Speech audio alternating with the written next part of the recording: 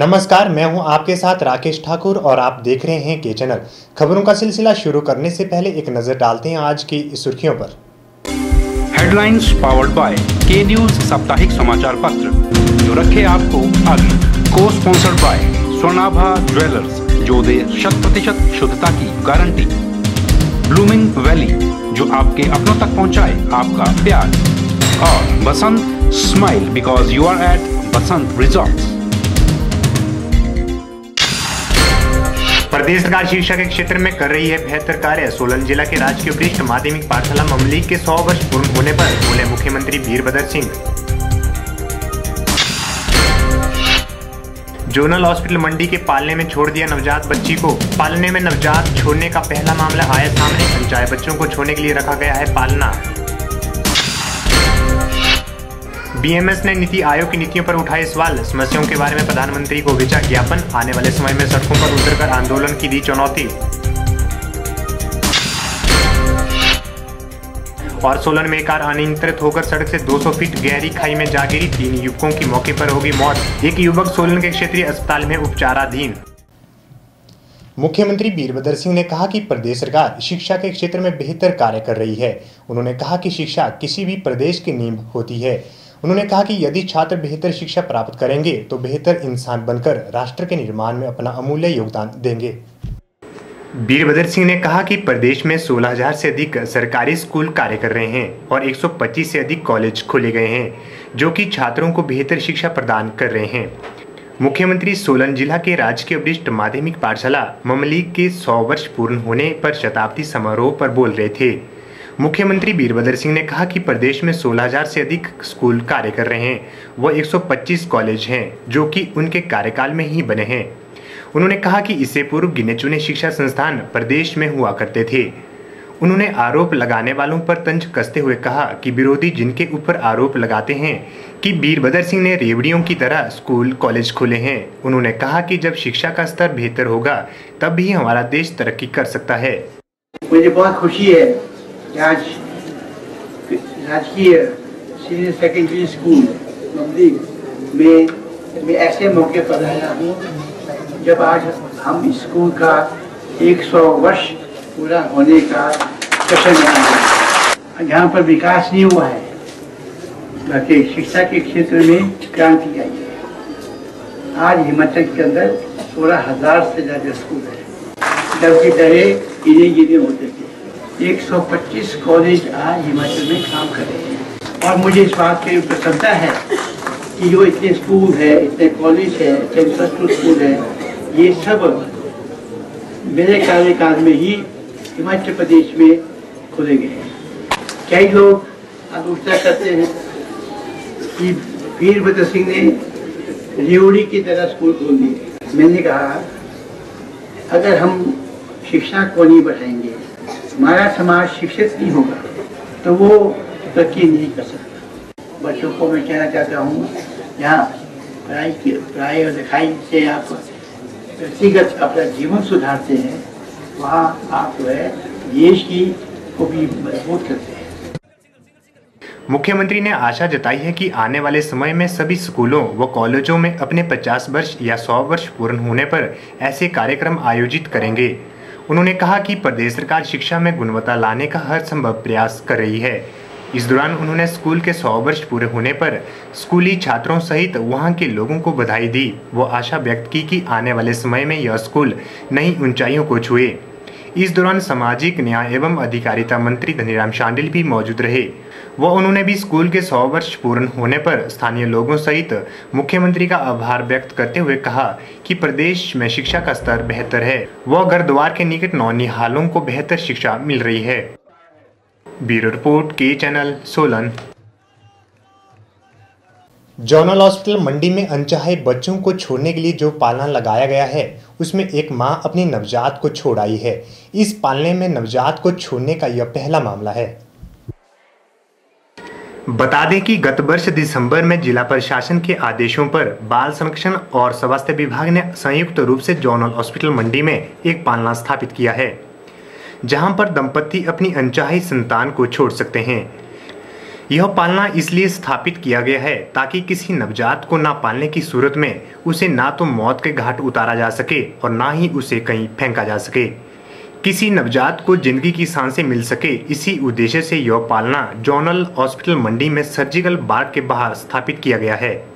बताया जा रहा है कि वीरवार दोपहर को एक माँ अपनी नवजात बच्ची को इसमें छोड़ आई। इसकी सूचना जैसे ही अस्पताल प्रबंधन को मिली तो उन्होंने बाल संरक्षण विभाग को सूचित किया और बच्ची को उपचार के लिए जोनल हॉस्पिटल के एनसीयू में भर्ती करवा दिया। जिला बाल संरक्षण अधिकारी दुनीचंद ठाकुर ने बताया कि बच्ची को अभी जोनल हॉस्पिटल में भर्ती करवाया गया है और जब डॉक्टर बच्ची के पूरी तरह से स्वस्थ होने की रिपोर्ट देंगे तो उसके बाद बच्ची को शिशु केंद्र शिमला भेज दिया जाएगा। उन्होंने बताया कि यदि कोई इस बच्ची को गोद लेना चाहता है तो वह शिमला स्थित शिशु केंद्र में संपर्क कर सकता है। उन्होंने प्रसन्नता जताई कि महिला ने नवजात को इधर उधर फेंकने के बजाय पालना केंद्र में छोड़ा। उन्होंने बताया कि बच्चे की सही ढंग से परवरिश की जाएगी। बच्चे की जान बच गई, ये बड़ी बात है। कहीं इधर उधर फेंकने की बजाय जो है वो हमारा जो बेबी रिसेप्शन सेंटर है, उसमें बच्चे को छोड़ गई। हम बड़े भारी उसके धन्यवादी हैं कि इस बनाए इसके कहीं जंगल में छोड़ दे, कहीं नाली में छोड़ दे। तो तो वो तो इनह्यूमन है। तो कम से कम ये है कि वहाँ पे बच्चा अब सेफ़ हो गया और उसकी अच्छी अब परवरिश होगी और वो बच्चा सही जगह जाएगा। उस जिस बच्चे को हम कोशिश में हैं कि आज या कल जो है डॉक्टर जैसे इसको मेडिकली फिट करेंगे और सीडब्ल्यूसी से हम इसके आदेश लेके इसको शिमला शिशु केंद्र में पहुँचाएँगे। Bureau report, K channel, Mandi. Kanpur में संपन्न हुए भारतीय मजदूर संघ के 18वें अखिल भारतीय अधिवेशन में नीति आयोग के पुनर्गठन और विभिन्न उद्योगों की समस्याओं को पारित प्रस्तावों को शीघ्र कार्यवाही करने के लिए भारतीय मजदूर संघ जिला मंडी ने उपायुक्त के माध्यम से देश के प्रधानमंत्री नरेंद्र मोदी को एक ज्ञापन भेजा। भारतीय मजदूर संघ जिला मंडी ने नीति आयोग की नीतियों पर सवाल उठाते हुए कहा कि आयोग की नीतियाँ देश भर के मजदूरों व उद्योगों पर प्रतिकूल असर डाल रही है। पीएमएस का मानना है कि सरकारें देश और प्रदेश में कर्मचारियों की समस्याओं की तरफ़ कोई गौर नहीं कर रही हैं। पीएमएस ने आरोप लगाते हुए यह भी कहा कि प्रदेश सरकारें केंद्र की नीतियों को लागू करने में भी आनाकानी कर रही हैं। जिससे देश का मजदूर, गरीब और किसान वर्ग के साथ साथ सरकारी और निजी कर्मचारी अपने आप को ठगा सा महसूस कर रहा है। पीएमएस ने मोदी को भेजे ज्ञापन में मांग उठाई है कि मजदूरों के हकों को ध्यान में रखते हुए नीतियों में बदलाव किया जाना चाहिए, ताकि समाज के एक बड़े वर्ग को कठिनाइयों का सामना न करना पड़े। उपायुक्त मंडी संदीप कदम के माध्यम से भेजे गए ज्ञापन में पीएमएस ने इन सभी समस्याओं के निदान के लिए प्रधानमंत्री से सीधे तौर पर हस्तक्षेप करने की मांग उठाई है। साथ ही पीएमएस ने समस्याओं का निश्चित समय में समाधान न होने की सूरत में सड़कों पर उतरकर एक बड़े आंदोलन की चेतावनी भी सरकार को दे डाली है। कर्मचारियों की बहुत सी ऐसी मांग है, जैसे दो हज़ार तीन के बाद पेंशन का न मिलना नीति आयोग के फैसले को लागू न करना। विकलांग संघ की बहुत सारी डिमांडें हैं और आंगनबाड़ी कार्यकर्ताओं की बहुत सारी डिमांडें हैं अभिकर्ता संघ की डिमांडें हैं बिजली बोर्ड के कर्मचारी आईपीएच के कर्मचारी और जितने भी जो कर्मचारी है सरकार की जो जित, जो जितनी भी जो मजदूर विरोधी नीतियाँ हैं सरकार की उसके बारे में आज एक ज्ञापन दिया गया। और इस ज्ञापन में सरकार से यह प्रार्थना की गई कि समय रहते हुए इन मांगों को पूरा किया जाए नहीं तो आने वाले समय में पूरे देश में भारतीय मजदूर संघ बहुत बड़ा एक एजिटेशन करेगा और उसकी सारी जिम्मेवारी प्रदेश सरकार की और केंद्र सरकार की होगी। ब्यूरो रिपोर्ट के चैनल वक्त तो चला एक छोटे से ब्रेक का आप बने रहिए हमारे साथ।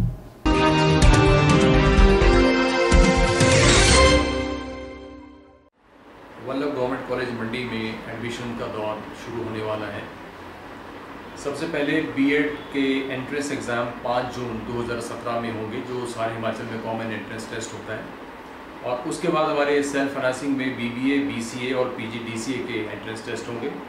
बीबीए का last date of application 10 June होगा उसके बाद उनका एंट्रेंस टेस्ट 12 जून को है। बीसीए का 17 जून को आ, इनके फॉर्म्स वहाँ पे सबमिट होंगे और उसके बाद 20 को एंट्रेंस टेस्ट है। और पीजीडीसी का सात जून को फॉर्म सबमिट करने की लास्ट डेट है। हमारे इस साल हमारे महाविद्यालय में सरकार की तरफ़ से पाँच नए सब्जेक्ट्स इंट्रोड्यूस किए गए हैं। Painting sculpture psychology applied arts tours and travel इनमें हमारे पास स्टाफ ने भी ज्वाइन कर लिया है। तो इसमें स्टूडेंट्स फाइन आर्ट्स के जो सब्जेक्ट हैं, उनको वोकेशनल तौर पे भी वो सीख सकते हैं और अपनी एम्प्लॉयबिलिटी को इंश्योर कर सकते हैं। और इसके अलावा बी वॉक हिमाचल कौशल विकास निगम की तरफ़ के इनिशिएटिव से ये हमारे महाविद्यालय हिमाचल के 12 कॉलेज में ये कोर्स स्टार्ट किया जा रहा है, जिसमें retail management hospitality and tourism ये दो विषय शुरू किए जा रहे हैं, जिसमें 40-40 सीट्स होंगी और इसमें मेरिट बेस पे एडमिशन होगी और 16 जून से सारे हिमाचल के महाविद्यालयों में एडमिशन होगी। बी वॉक में कौशल विकास निगम की तरफ़ से जो भी सिलेक्टेड स्टूडेंट्स होंगे, एक एक हज़ार रुपये उनको छात्रवृत्ति भी दी जाएगी। तो सभी छात्र अपना जो प्रोस्पेक्टस है, हमारे महाविद्यालय का दो तीन दिन के बाद उपलब्ध हो जाएगा। तो उसमें इंस्ट्रक्शंस को ध्यान से पढ़ें और जो विषय हैं, उनके कम्बिनेशन के बारे में भी वो अपनी रुचि के अनुसार वो उनको सिलेक्ट कर सकते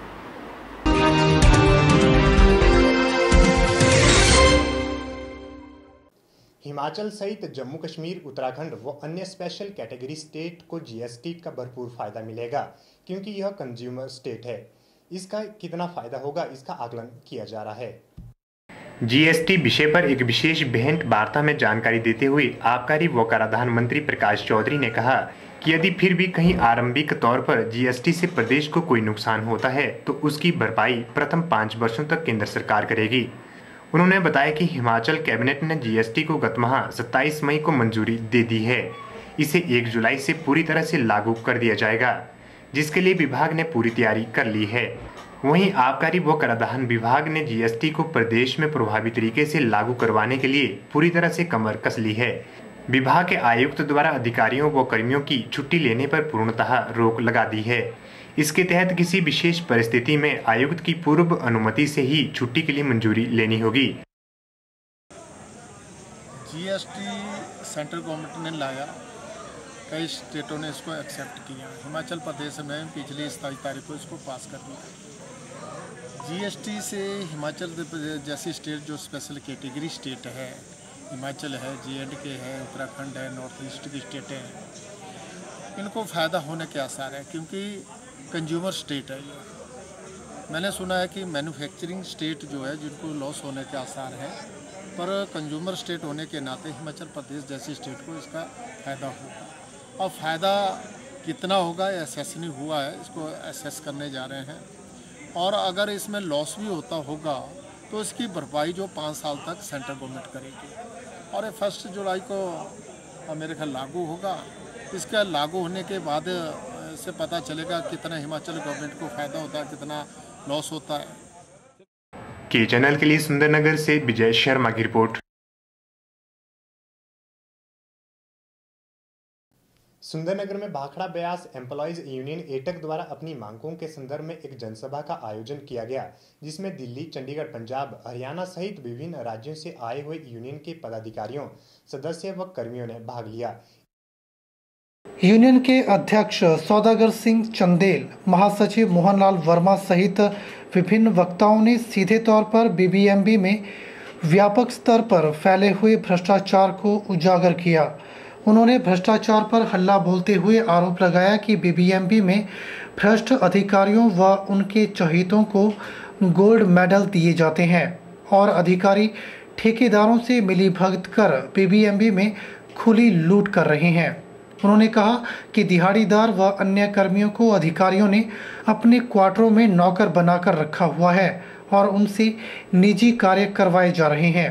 उन्होंने कहा कि बीबीएमबी के सरकारी अस्पतालों में डॉक्टर नहीं है, स्टाफ की भारी कमी है, अल्ट्रासाउंड मशीनें धूल फांक रही हैं, अस्पतालों में पर्याप्त संख्या में एंबुलेंस नहीं है। विभिन्न परियोजना क्षेत्रों में मशीनरी खराब हो, जंग खा रही है।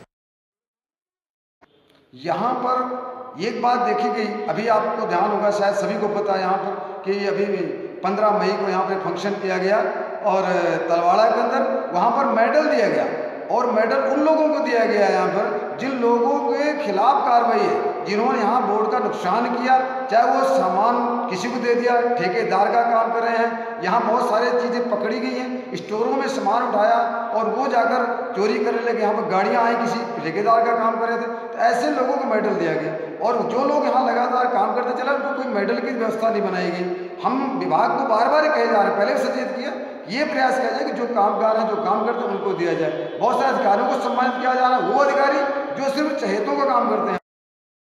उन्होंने कहा कि अधिकारी ठेकेदारों का काम कर रहे हैं और व्यक्ति विशेष के क्वार्टरों में विशेष सुविधाएँ देने के लिए पैसे व सीमेंट की खुली बर्बादी की जा रही है। उन्होंने आरोप लगाया कि ऐसे खास कर्मियों के क्वार्टरों पर 200 बोरी सीमेंट तक की बर्बादी की गई है, जबकि आम कर्मियों के क्वार्टरों की मामूली रिपेयर भी नहीं की जाती है। उन्होंने कहा कि आज भी कर्मी न्यायालय में हकों के लिए लड़ाई लड़ रहे हैं।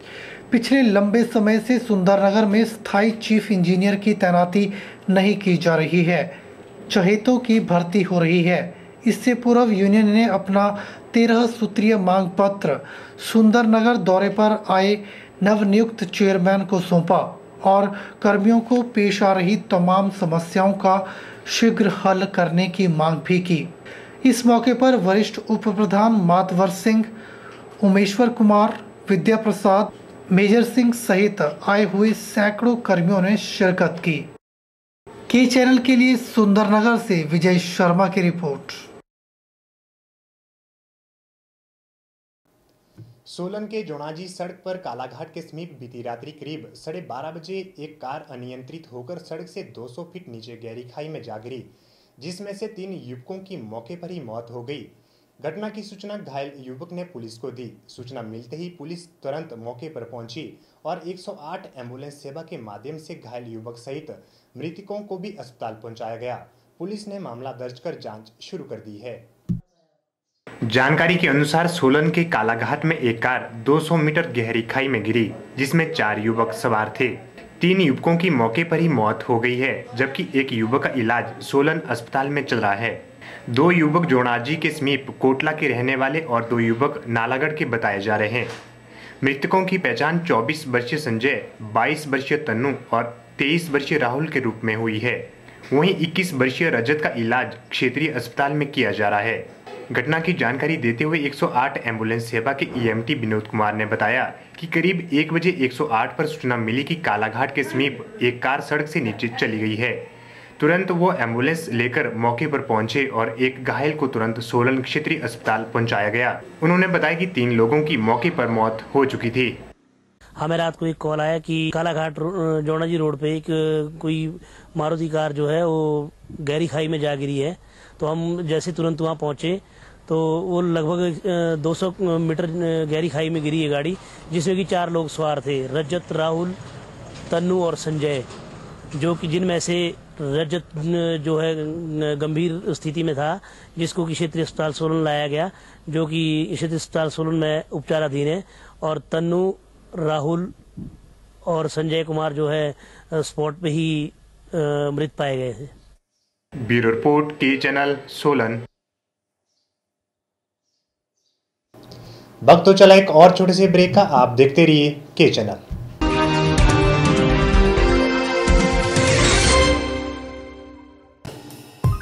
Sachdeva college Mandi the premier institute for competitive exam preparation since 2000 Crash course starts for JEE, Main and Advanced. NIT, BSc Horticulture, BSc Agriculture, BSc Nursing, NDA, PET. Mandi में सर्वाधिक सिलेक्शन देने वाला संस्थान free coaching for polytechnic test registration fees only 500 special offers discount in fee coaching is also available for fourth coming exams Sachdeva international school Paddal Mandi, Himachal Pradesh. Admission start for 2017-18 Sachdeva international school, Chauhatta Bazaar town Mandi. Play way with creche admission also start Prabhudayal memorial polytechnic a unit of Sachdeva college Mandi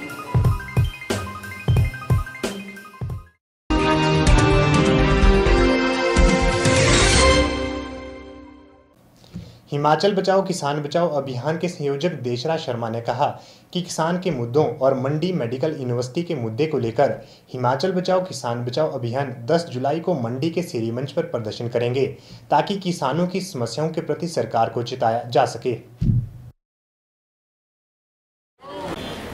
हम लगातार 16 जून से यहाँ किसानों की कर्ज माफ़ी को लेकर के, फ़सलों के लाभकारी दाम तय करने को लेकर के और भूमिहीनों को भूमि।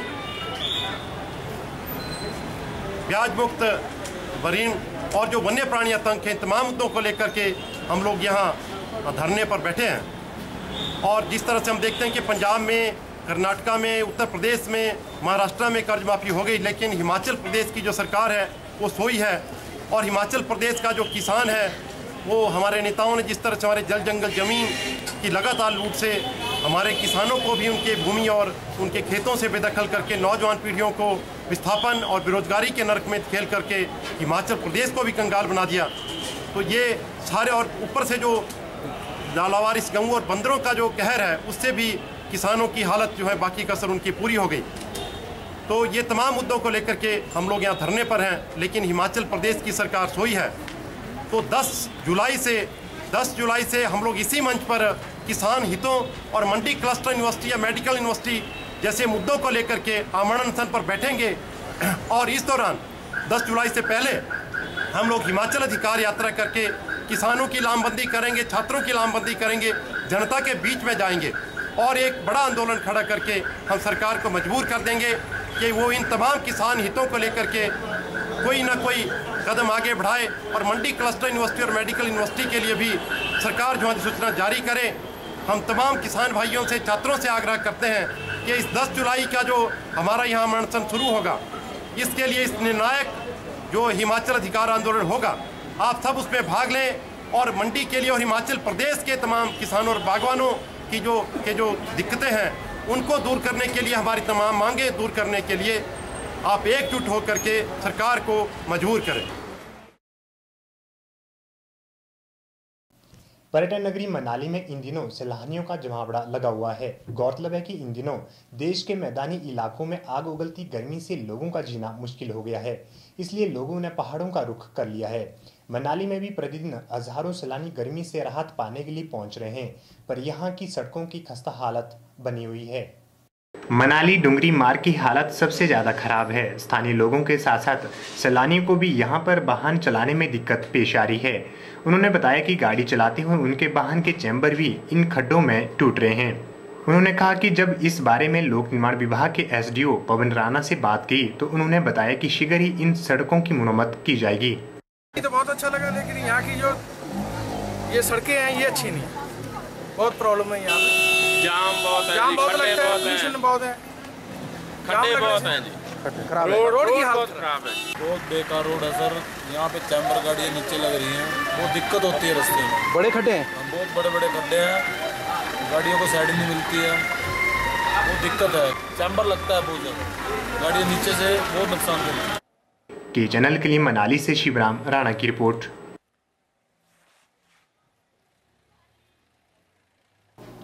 के चैनल में खबरों का सिलसिला यूँ ही जारी रहेगा। आप बने रहिए हमारे साथ।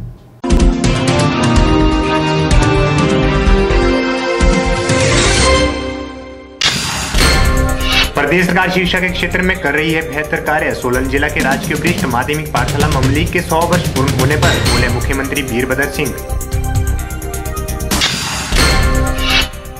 जोनल हॉस्पिटल मंडी के पालने में छोड़ दिया नवजात बच्ची को। पालने में नवजात छोड़ने का पहला मामला आया सामने। अनचाहे बच्चों को छोड़ने के लिए रखा गया है पालना। बीएमएस ने नीति आयोग की नीतियों पर उठाए सवाल। समस्याओं के बारे में प्रधानमंत्री को भेजा ज्ञापन। आने वाले समय में सड़कों पर उतरकर आंदोलन की दी चुनौती। और सोलन में कार अनियंत्रित होकर सड़क से 200 फीट गहरी खाई में जा गिरी। तीन युवकों की मौके पर होगी मौत। एक युवक सोलन के क्षेत्रीय अस्पताल में उपचाराधीन।